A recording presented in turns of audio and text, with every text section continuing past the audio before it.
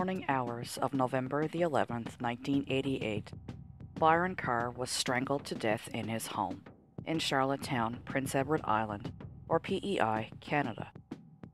Byron's murder remains unsolved to this day and is actually Prince Edward Island's only unsolved murder. Just imagine the shock and horror when Byron's sister, Maida, found his body strangled by a towel with a knife protruding from his stomach and a message written on the wall that read, I will kill again. What the hell was going on? This was small town PEI. Murders just don't happen here. Then imagine the shock again to only find out that Byron Carr was a gay man leading a somewhat secret, risque sexual life.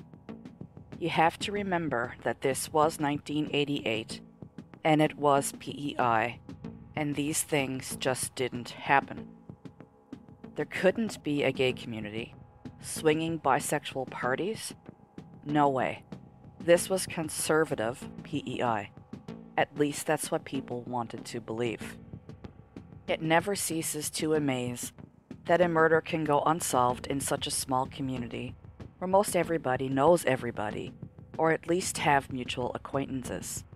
It is really quite baffling that a secret this big can stay buried for so long. There must be those in the community who know what happened, but for whatever reason, they refuse to come forward. Charlottetown is the capital of PEI, which is Canada's smallest province. PEI has the lowest violent crime rate of any province in Canada. And to just kind of put it into context how small PEI actually is, in 1988, the province of PEI had a total population of around 129,000 people. Meanwhile, the population of Charlottetown was just only about 15,000. PEI is an island on Canada's east coast, which is known for its beautiful scenery that is marked by red sand beaches, lighthouses, and fertile farmland. PEI is also renowned for seafood, like lobster and mussels.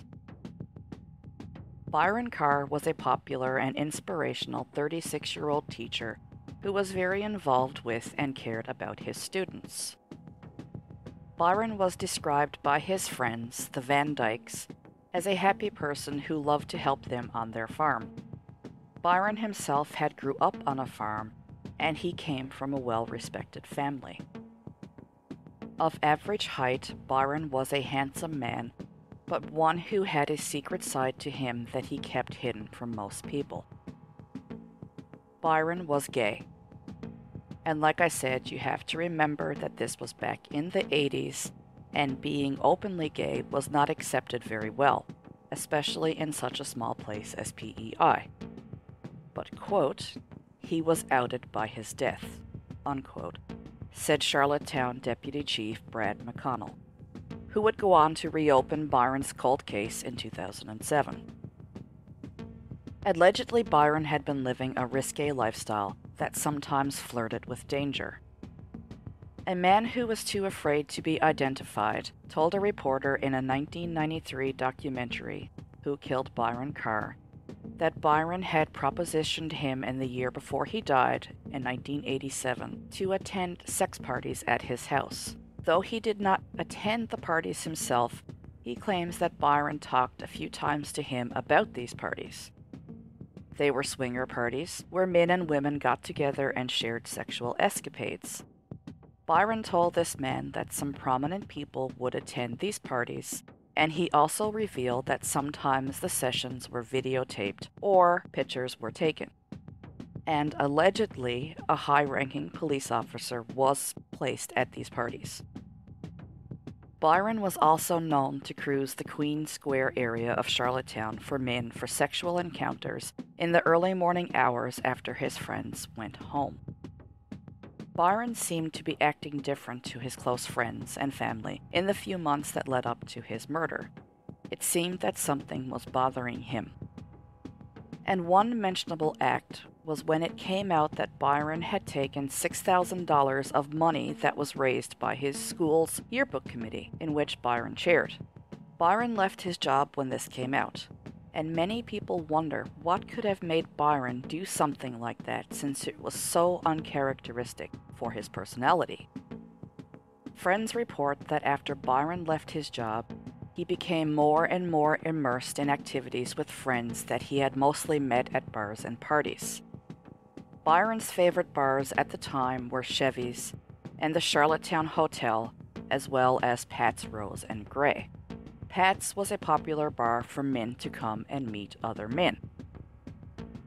Another strange incident was when Byron told his close friend how in the few months leading up to his murder that a man was phoning him. It appeared to Byron that this man wanted some sort of relationship with him, but Byron was not comfortable with this and didn't want to be associated with this person. Byron's friend remembers that Byron told her one night when he fell asleep on his couch, he woke up and this man was in his house. And though it did seem that this bothered Byron some, he claimed that the guy was harmless. Due to the era when this murder occurred and the topic of homosexuality being, I guess you could say, taboo, Byron's case was awkward for the local media to cover, and the gay community was shrouded in secrecy because back then people simply were just not out about their sexuality. It was very sensational that not only was this PEI's first unsolved murder in recent times, but it was also the murder of a gay man, and that forced people to talk about uncomfortable things that were happening behind closed doors, so to speak.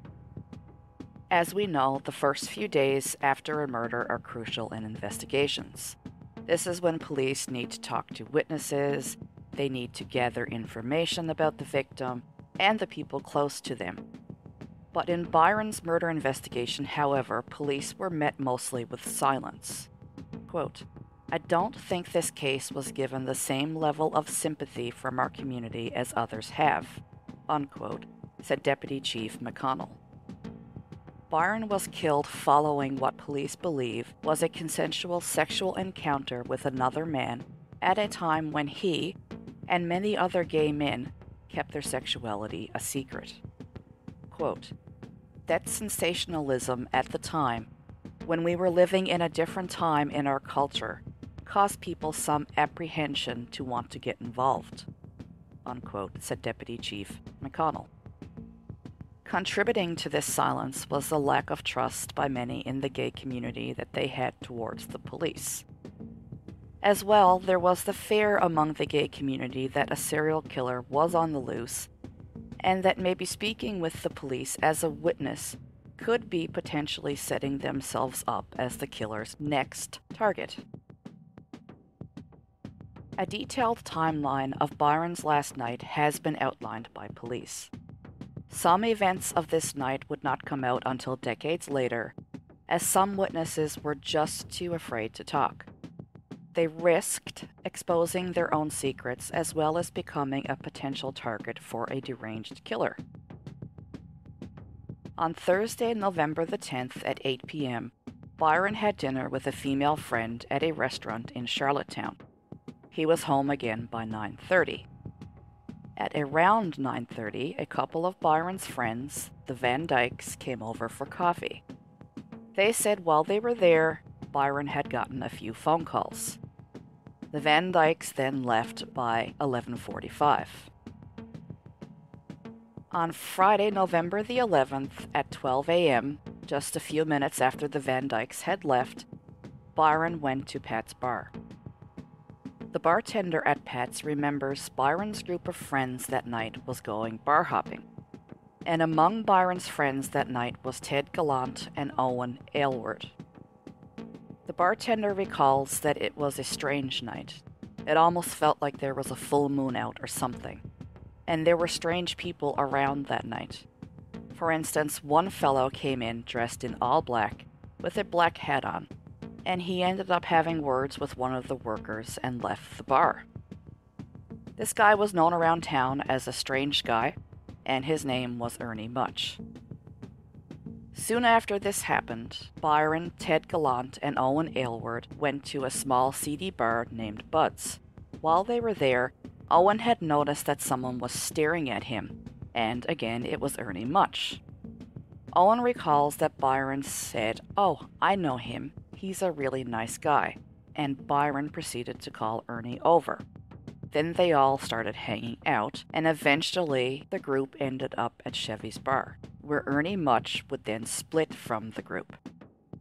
Byron and his two buddies, Ted and Owen, left the bar well after 2 a.m. Byron drove his friends to his home. Ted fell asleep on the couch, and Owen and Byron talked for a while. Byron insisted that his friends stay the night, but Owen had obligations the next day and he had to leave. So he woke Ted up and they both left before 3 a.m. By 3 a.m., Byron was on the move again. He drove south on University Avenue. He picked up a male friend who was walking at the corner of University and Euston. He dropped this friend off at a boarding house. And then, by 3:05 a.m., a witness years later would come forward to say that he seen Byron parked talking to a man on a bicycle at Prince and Richmond streets. Byron pulled away, driving north up Prince Street in the direction of his house. The man on the bike then appeared to follow Byron. This witness sighting was not reported until 20 years after the murder, and this sighting is the last known sighting of Byron alive. Police believe that the cyclist may be Byron's killer. By 9 a.m., November the 11th, Byron's boarder arrived home. He did not see Byron and noted that his bedroom door was closed.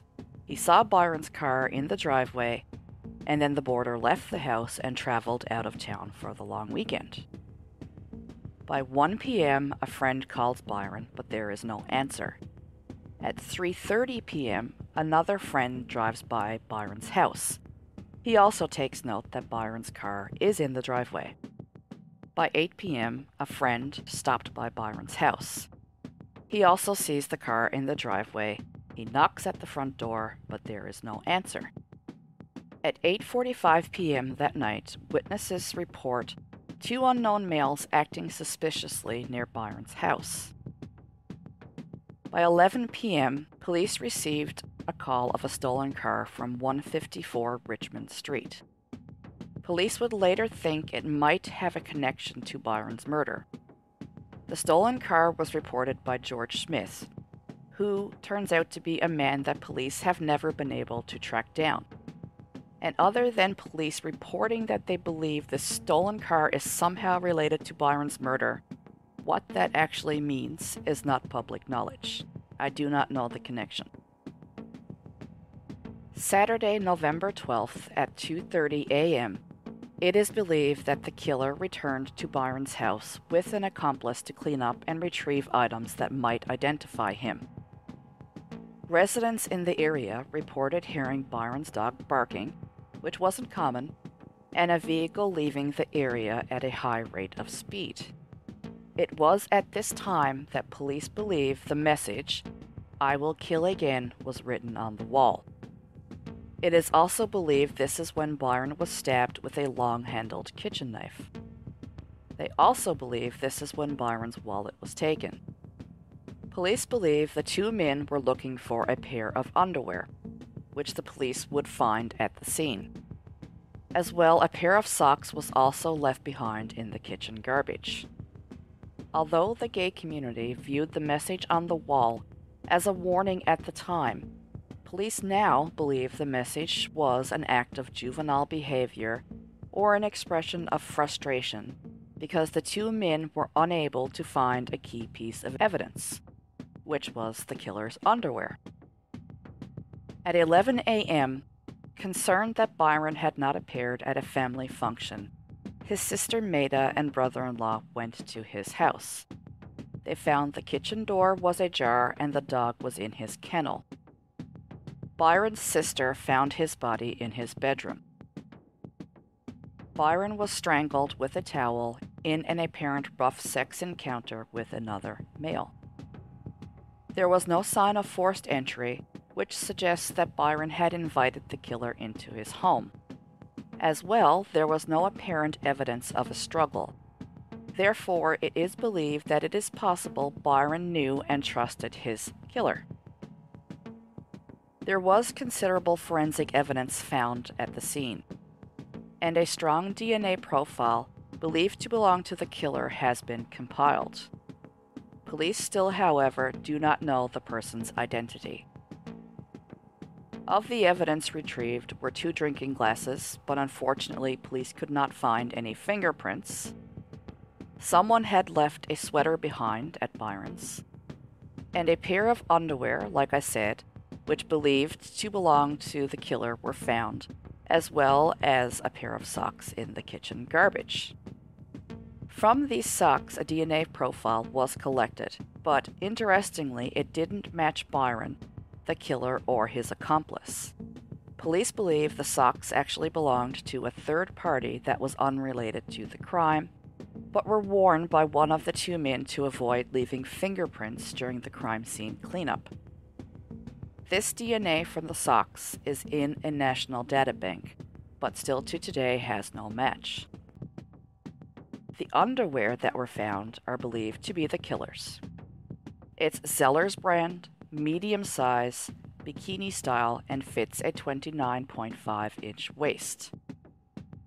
That led police to believe that the killer was of a slight build. On these underwear was the killer's DNA, but also the DNA of a woman, which is why police believe the killer was bisexual. Police would develop a psychological profile of the killer. A repressed homosexual, also very likely bisexual, very dangerous and likely to kill again. The killer was believed to be young, between the ages of 15 to 25 years old, a resident of Charlottetown, and a person having had previous involvement with the police. It's possible that Byron knew him as well as it's also possible that Byron had met him for the first time that night. Byron's murder went cold, but fortunately was formally reopened in September of 2007 after a guy came forward claiming that he had been attacked not long after Byron's murder. Both attacks shared striking similarities. The unidentified witness, who is gay, told police he picked up a man in a local park two months after Byron was killed. He took this guy home, and after they had consensual sex, the younger man became violent. He grabbed a knife from the kitchen and threatened the witness, saying that he had done this before. The witness fortunately was able to get away. The suspect stole the man's wallet just as Byron's wallet had been stolen. In 2010, authorities released a composite sketch created with the assistance of this 2007 witness, as well as a photo of the underwear that were found at Byron's house. The man in this sketch is described as being about 19 years old in 1988. He was of thin build and average height with auburn brown hair. Police do not know if this sketch actually shows Byron's killer, but because both cases have such striking similarities, police believe that this lead warrants further examination. Describing why it took so long for this witness to come forward, almost 20 years, actually, Deputy Chief McConnell said, quote, This was a secret that he had, and like most gay men at the time, not wanting to be outed, or exposed as being gay or involved in that kind of behavior, he never reported the incident. Unquote. In 2008, which was 20 years after Byron's murder, another witness would come forward, and this would be the witness that had seen Byron talking to the cyclist on the night that he died. He said Byron was pulled over on the side of the road, and when he left to drive home, the cyclist followed him. Police were skeptical at first, but the man agreed to take a polygraph test to prove that he was telling the truth, and he did pass. Then in November of 2013, there was a major development in Byron's murder when police announced that they had compelling evidence implicating a second man as the accomplice that had helped the murderer clean up the murder scene. Unfortunately, this man had died in the early 2000s, but police say that had he been alive when witnesses spoke up, they would have had enough evidence to arrest him. After his death, two witnesses came forward, separately, one in 2008 and another in 2012. They both told police similar stories that the man had confessed his role in helping the killer clean up but the man hadn't revealed the name of the killer to them. The accomplice, says Deputy Chief McConnell, was actually on a short list of suspects early in the investigation. He was 27 at the time of the murder, a native of Charlottetown. He was believed to be bisexual, and he had a violent criminal history, including robberies of gay men. He had also recently been released from federal prison when Byron was murdered. But police have never named this individual. And even though this accomplice is now deceased, police believe that he is a promising link to the killer.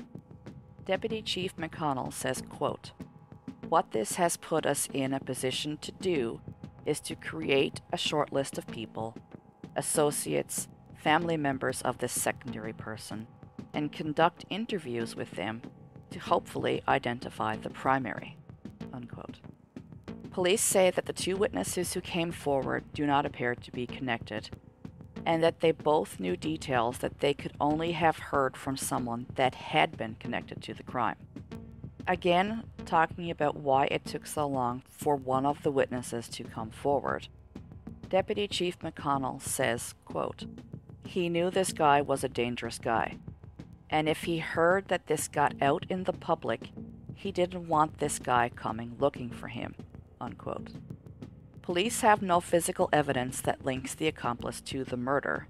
However, Deputy Chief McConnell said he has interviewed lots of people who knew this alleged accomplice, and, quote, they would find it very odd he would confess to something he didn't do especially something so sensational as the Carr murder. Unquote. In 2013, Deputy Chief McConnell said the crime scene had shown signs of frustration on the part of the two men. Quote, they came for something and they can't find it. And what we are seeing is some juvenile behavior associated to that and a lot of frustration in these acts. Unquote. One of those acts is the message that was written on the wall. And Deputy Chief McConnell says handwriting analysis has suggested that the message was not actually written by the killer, but was written by his accomplice after the fact. The gay community, he added in 2013, had also stepped forward to provide valuable information to the police. But despite these developments in the case, no new leads had emerged until July of 2018 when an unidentified man made two phone calls to police in regards to Byron's murder. The calls were made from a payphone in the Charlottetown Mall, and although the man left messages, he didn't provide any contact information. And no security cameras in the mall have a view of the payphone, so his identity remains unknown. Deputy Chief McConnell said there was an urgency in this man's tone, which suggested that he wanted to give police information.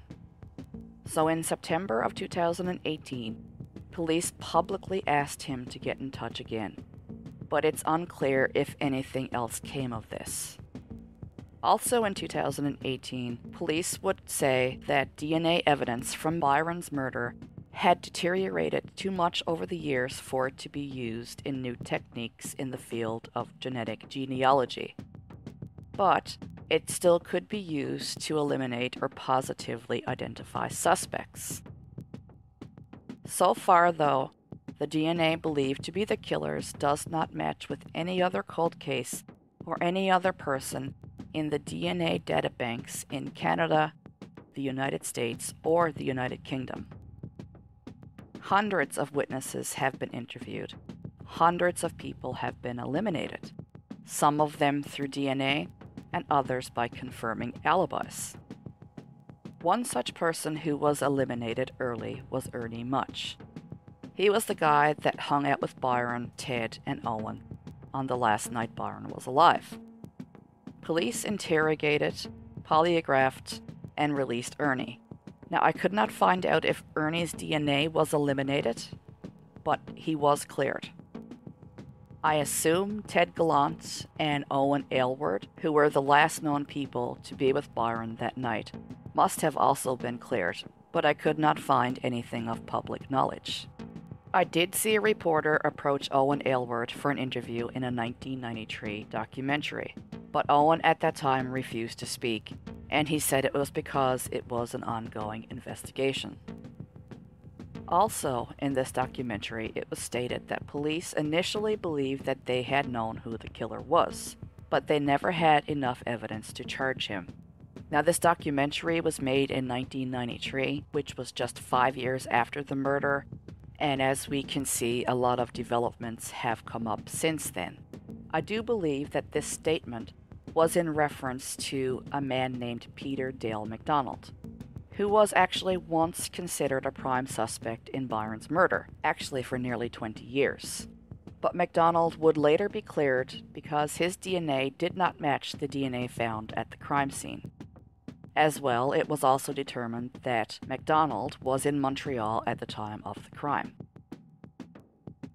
Nonetheless, police say the list of possible suspects that remains in Byron's murder is in the hundreds and tracking them down to eliminate them as possible suspects is very challenging.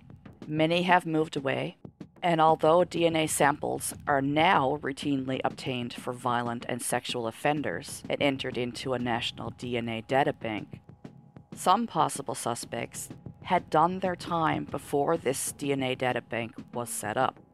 Police believe Byron Carr's killer would be in his late 40s to mid 50s today.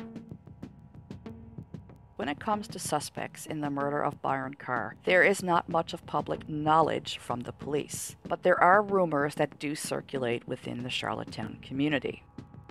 The most obvious suspect and someone the police want to identify is the cyclist that Byron was seen talking to that night. This person seemed to follow Byron home, but who was he? Was it just a coincidence? Or was he the killer? Identifying this man could be a big piece of the puzzle.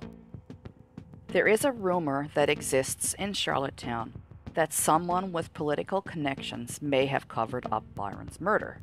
It is alleged that he was having swinging parties with prominent people in the community, one even maybe being a high ranking police officer. We know that he did tell at least one person about these escapades, I mean, if you can believe this unidentified man. And supposedly, these escapades were being videotaped and there were pictures. Is it possible that someone didn't want this information to get out, so they murdered Byron to shut him up?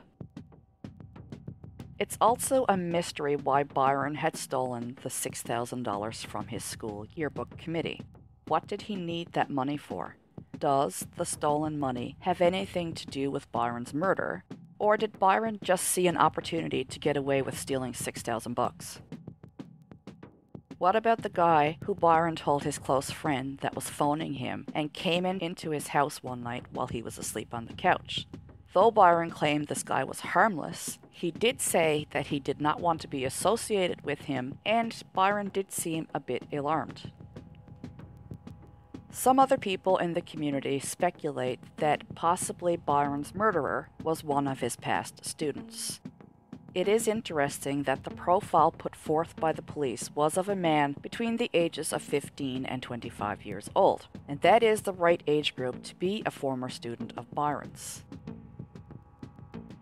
And then there is the link between Byron's murder and a car theft that happened that same night. The crime was reported by George Smith, who is a man that police have never been able to track down. But whatever this link is, I could not find it. Obviously, police know something that we do not. Now, not a suspect, but a very crucial person that police need to identify in this murder is the female whose DNA was on the underwear found at the scene. Police believe this woman knows the killer well, therefore could identify him. That a woman's DNA is in the clothing doesn't mean that she was there that night. It's more likely that her DNA was on the killer's clothing because she knew him well. Quote, Based on the item of clothing, we feel that there was a close personal relationship between both donors. We feel that if we identify this person, there's a good chance that will lead us to the male. Unquote. Deputy Chief McConnell told CBC News in 2008.